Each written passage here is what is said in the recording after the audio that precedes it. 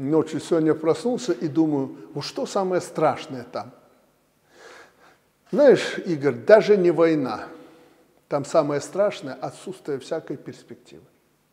Ну вот представь, э, дети. У нас дети.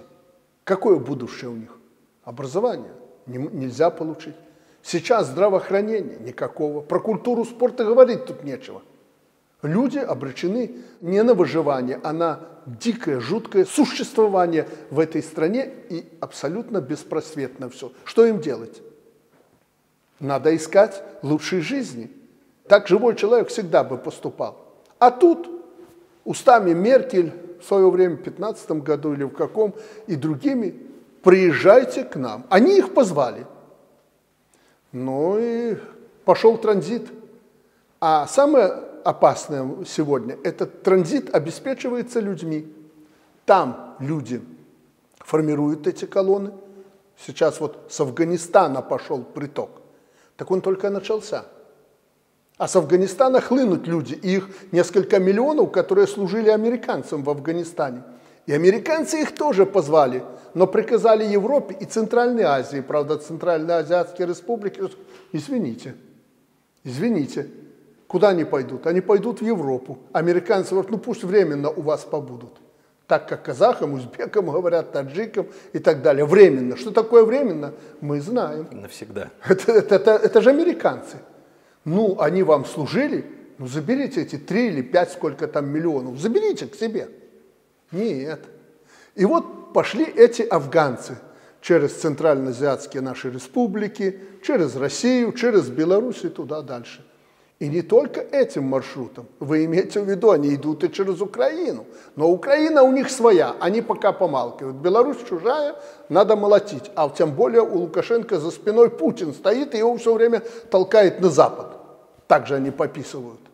И миграционная эта волна, это гибридная война Лукашенко, поддерживаемая Путиным. Причем тут Путин, причем тут Лукашенко?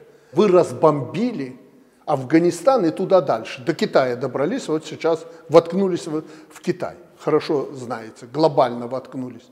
Ну и люди, по вашему призыву, едут к вам. Да, сейчас они нашли дыру в Беларуси. Хотят через Беларусь попасть. Они к нам приезжают абсолютно, пролетают законно. Они пролетают, Игорь, в аэропорт, в который коллективный Запад, как ты сказал, никого не пускает из своих компаний.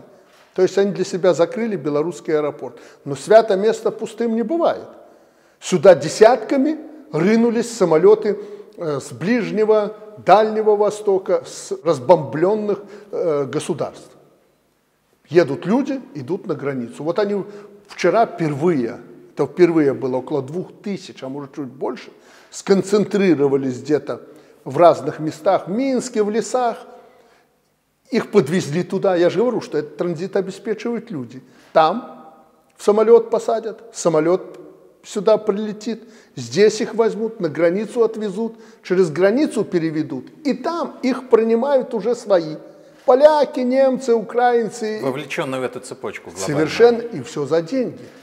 Это же не бедные люди едут оттуда. А если и бедные, то им собрали эти деньги. И мы эту цепочку полностью отслеживаем. И вот те, кто в Польше, их же они уже поймали и даже вынуждены были объявить, кто они. Там не было белорусов. И всего два россиянина. А десятки транзитеров, которых людей подкидывают, это немцы и прежде всего поляки. Ну еще и украинцы, литовцы. То есть там своя мафиозная структура, которая обеспечивает этот транзит.